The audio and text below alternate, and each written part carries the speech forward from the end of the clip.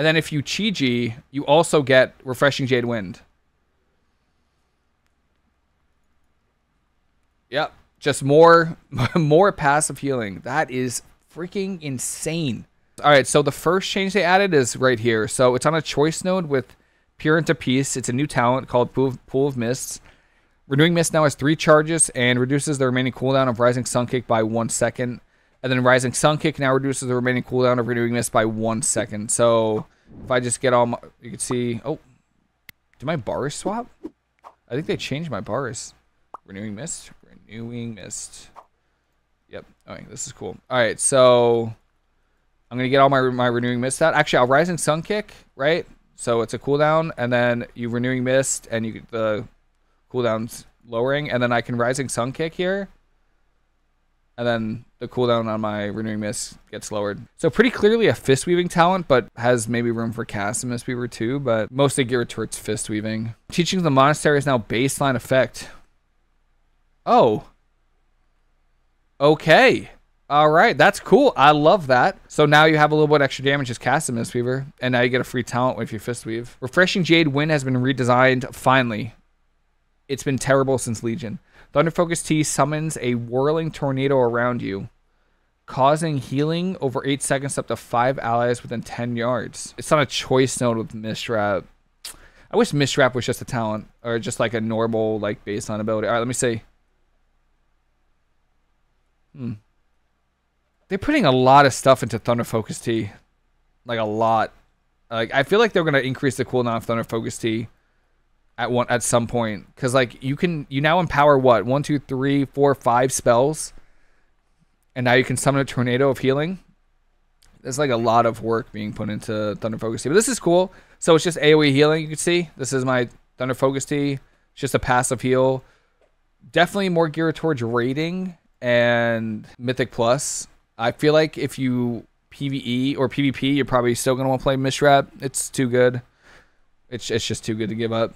Right, Yu'lon's Whisper has been redesigned. While channeling Mana Tea, you exhale the breath of Yu'lon, healing up to five allies within 15 yards.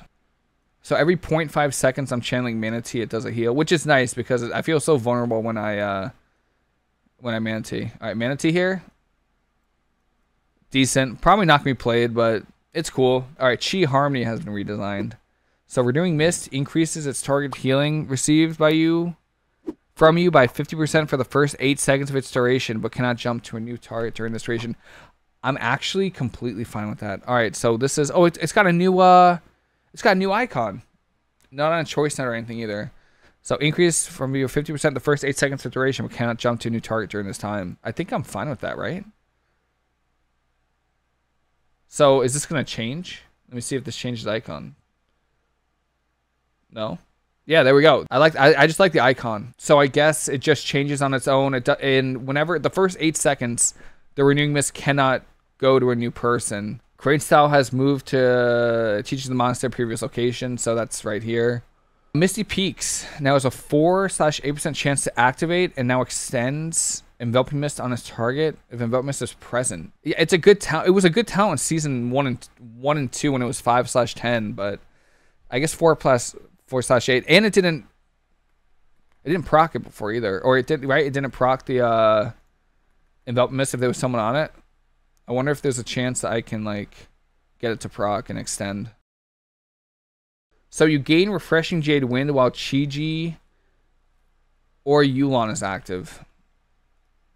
Okay. Let me get my Chi-Ji out here. And then what's what's the other one?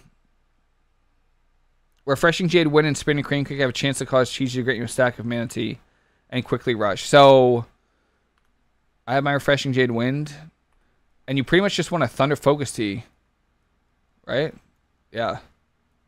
Oh, then there goes Chi-Ji. Oh my god, there she goes. She just ran away. And then if you Chi-Ji, you also get Refreshing Jade Wind. Yep. Just more more passive healing. That is freaking insane. I'd rather lose 300 CR than fist. Joke's on you. I've lost 300 CR because I didn't fist. And it's not fun. it is it is not fun. But you know what's cool is you could Yu'lon though. So if, if you if you if you play Conduit of the Celestials, which you probably won't. The the issue is you're not really you're probably not gonna be playing Conduit of the Celestials if you're misweaving.